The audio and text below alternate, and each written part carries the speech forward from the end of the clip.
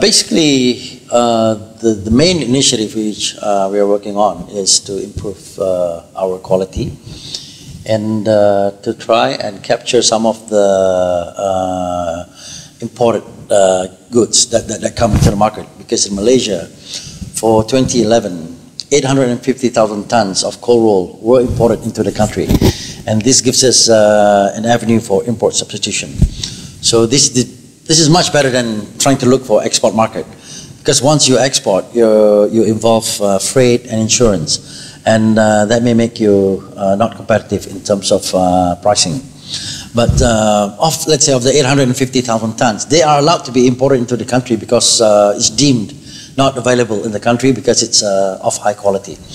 So what we're doing now is just trying to improve our quality so we can target the much higher end cold roll products which of course brings higher margins.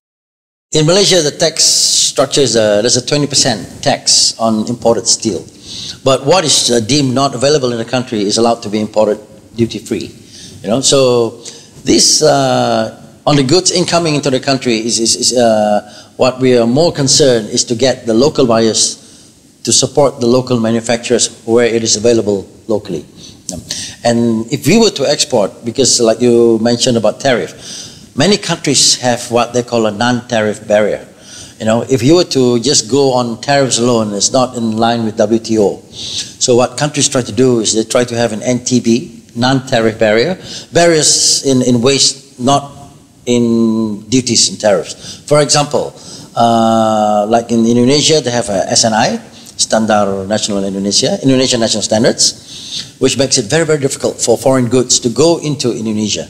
So, and you must use a local agent and they must come and visit your premises and certify you uh, as being able to export what is required by them. So, but Indonesia is basically a closed uh, market. So the, the, the, the market, the, the steel prices there are much higher than in Malaysia. For example, the, the, the raw material is priced much higher than my finished product of a roll in Malaysia because it's so difficult to export into Indonesia certain uh, segments of uh, steel.